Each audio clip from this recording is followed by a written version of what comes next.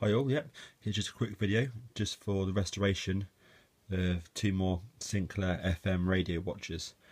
So as you can obviously see, I've got three watches here.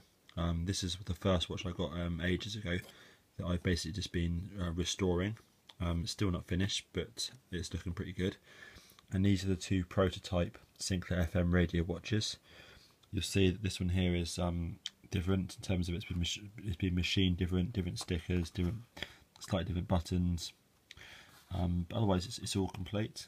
And underneath here, you have another prototype, um, which actually looks very, very, very similar to this one here, which isn't a prototype, which is a normal model.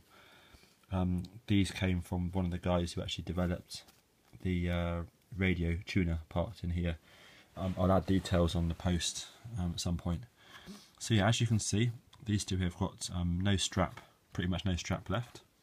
So the straps are made out of some sort of um, sort of hard, sort of semi-hard, sort of latexy rubber. So they they just deteriorated. So literally that's what's left of them.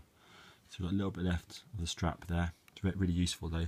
And you've got a bit left um, under this um, clasp here. Um, this one here, you've got again a bit more here, bit bit left in there, and again a bit more in there. Uh, bag of bits here, including the battery cover. So what you have on this on on this uh, model is you have um, a battery mounted in there. So that powers um, the radio, basically.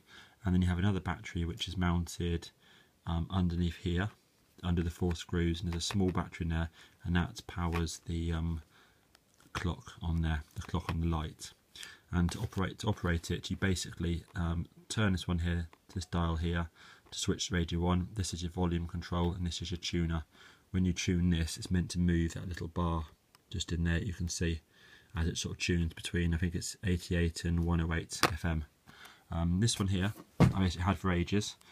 Um, it came in exactly the same state as this as this and what I've done basically is I've spent ages trying to locate um, the right type of straps so obviously you can't go and buy a strap for it. It has to have a strap that really has to have a channel in it like this, the right sort of length, obviously the right um, width here so this is a 16 mil, this is an 18 mil. 18 mil is a bit big, hence I've got little cutouts at the end. Just use a really, really, really sharp sort of scalpel sort of knife basically. Um, you also have to cut out things like the plastic here so that the clasp um, area can fit on it. Because obviously normally the strap would be a bit, bit, little bit, little bit, little bit thinner. That's also you have to cut out a little notch on there. And again, these are practice ones, but this one here is slightly better cut out underneath there, a bit neater. So again, this one here that I've got the 16 mil is actually um, obviously shorter. So all of this one here works better on the watch. It doesn't go to the full length of the um, the aerial part underneath here, which you can see there.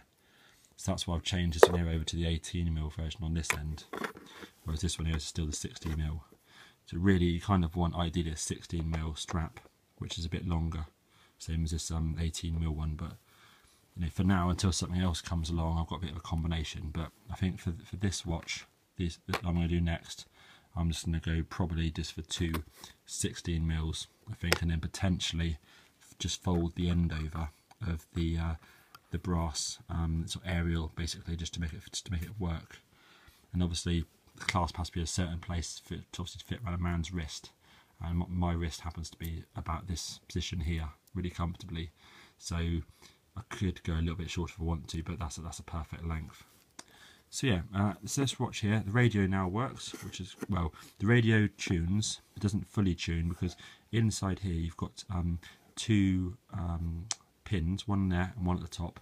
And when you twist that dial there, it actually rotates a sheet of sort of plastic around it, which somehow touches on some sort of sense here, which I guess tunes it. I don't know a lot about it, but that's how it looks and that's actually where it's so old. Um, it's literally a piece of really fine plastic, really really thin sort of plasticky paper.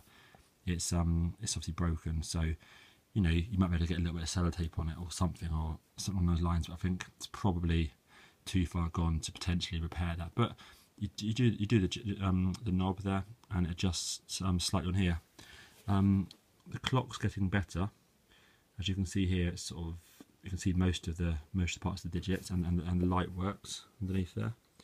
I'm hoping that you know with a battery on it it might suddenly start to work but Otherwise, it's so complex inside. I'm guessing it's probably if it's not going to work, it's probably knackered, and I don't know how easy it will be to get a replacement. Probably very very tricky. But otherwise, um, at least now I can actually wear it. So I, I wore this watch to work today for the first time ever. So least I can wear it, I can basically see what time it is, and I can tune in a couple of channels. But it just feels good when you wear it, it's nice. So yeah, with the two prototypes, um, the plan is I'm going to look at these two tonight. Um, I'm going to put a strap onto one of them, probably actually onto this one here, um, and then leave the, the, the main blatant prototype for, for later. So I'm going to probably put a strap on this one. Just that means I can I can then handle it because when it's when it's all like this, it's very delicate. You know, I don't want to twist anything and break any of these because obviously you require you know, a lot more effort, a lot more skill to repair them. I'd rather handle this very carefully and, and with a strap um, in place. It means I can pick up the watch. I can remove the covers easy. I can you know fiddle around with trying to get it working. So I think tonight I'll spend a couple of hours at least cut um, trying to make these latex uh, straps work. So you basically have to sort of cut out notches in the back for the special, the really sort of random pin that holds it in place. You know, and obviously notches down here, and you know you probably have to cut out um, a little bit of a notch um, on these bits here. So it's a few bits, but with a scalpel, you know, just a few hours work really, just sort of sit in there, clip it all on, and then hopefully once that's done, then I can then start messing around with putting batteries in it you know, and trying to get and trying to get the thing working. Um, again, this tuner feels very very loose, so either it's working amazingly, but I think it's probably knackered because again I can't see anything, sort of any sort of sign of movement in there. So again, once straps on, I can take the cover off. I can have a look in there and see if I can, you know, either swap them around or take it out, fix it, or or, or whatever. You know, I mean, being a prototype, it might not even be in there, so I haven't looked yet. But this one here feels a good, good bit heavier than this one. So it's, it's nice, yeah. So yeah, that's the plan. Um, this is original box for them here. Original sort of uh, paper case, and I've got a couple of sets of instructions that came with these two as well. So that's quite nice. So yeah, a, few, a good few hours work, get the strap on uh, mounted onto that, and then I can get the batteries in and see if I can get this get one of these working. Nice. I hope you find it interesting. So this is the Sinclair FM radio watch from 1985. Nice one. Cheers.